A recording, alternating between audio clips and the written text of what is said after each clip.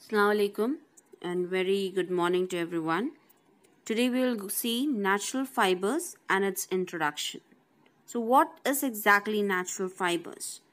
Fibers they may be defined as an hair like raw material directly obtained from any animal, vegetable or mineral sources. This is called as an elongated thick walled cell in term of pharmacognosy. Fibers they can be woven into various forms. It, it is convertible into a non-woven fibers such as felt of the papers after spinning into a yarn into a woolen clothes. Fibers can be classified into two major types. First is the natural fiber and artificial fiber. In natural fiber, we have three types vegetable, animal, and mineral. Artificial, we have regenerated fibers and synthetic fibers. In vegetable fibers, those who are obtained from the vegetable or the plant sources are called as the cellulose.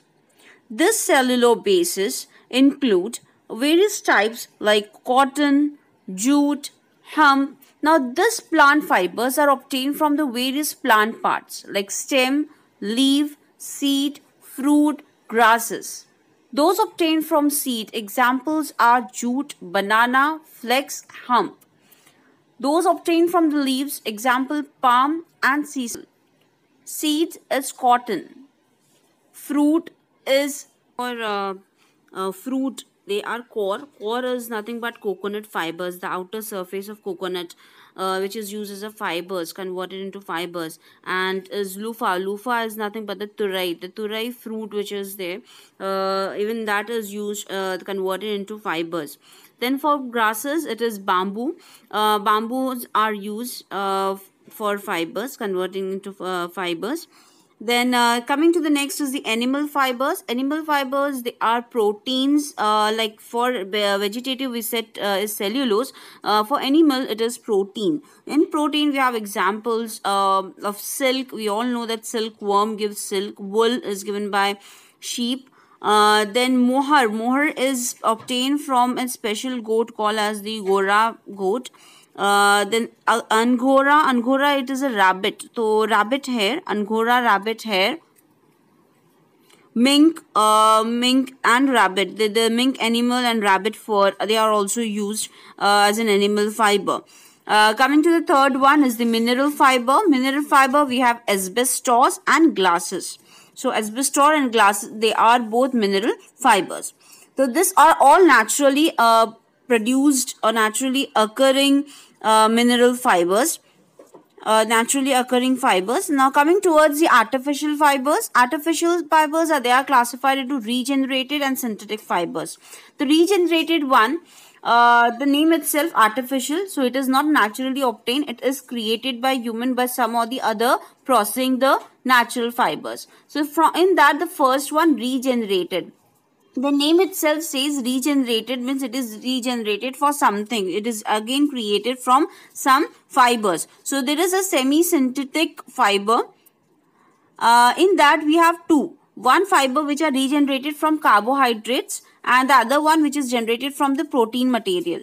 Now carbohydrates and protein material. In carbohydrates uh, the carbohydrates they are modified into uh, uh, types. Like the cellulose here are modified and converted with the help of a chemical into a new type of fibers and that's why it comes under the uh, semi-synthetic fibers. Semi-synthetic matlab it is taken a natural one. Natural fibers are taken cellulose carbohydrates are taken and then they are processed into uh, chemically and then a semi-synthetic regenerated fibers are created example here is uh, viscose rayon uh, alginate yarn and acetate rayon. So this rayons, the cellulose, they are converted into and semi-synthetic fibers.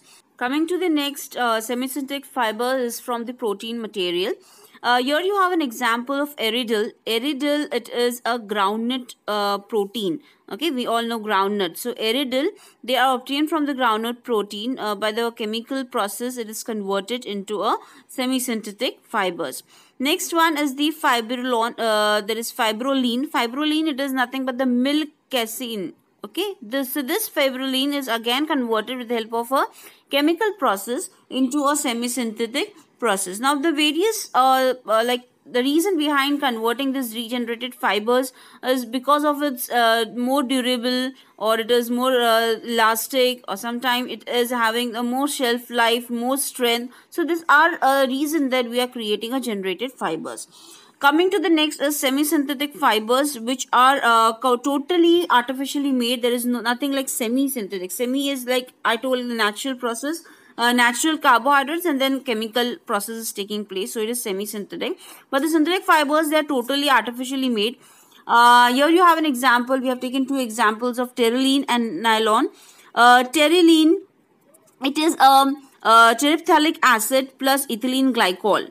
Uh, polymer of terephthalic acid and ethyl glycol while nylon it is a polymer of adipic acid and hexamethylene diamine हेक्सामिथिलीन diamine and adipic acid का polymer है सो terylene is also a polymer but it is a terylene is टेरिप्थैलिक acid and ethyl glycol So after seeing the classification of natural fibers, let's move to on the uses of fibers. Now uses of fibers, we all know basic uses of fibers is for clothing.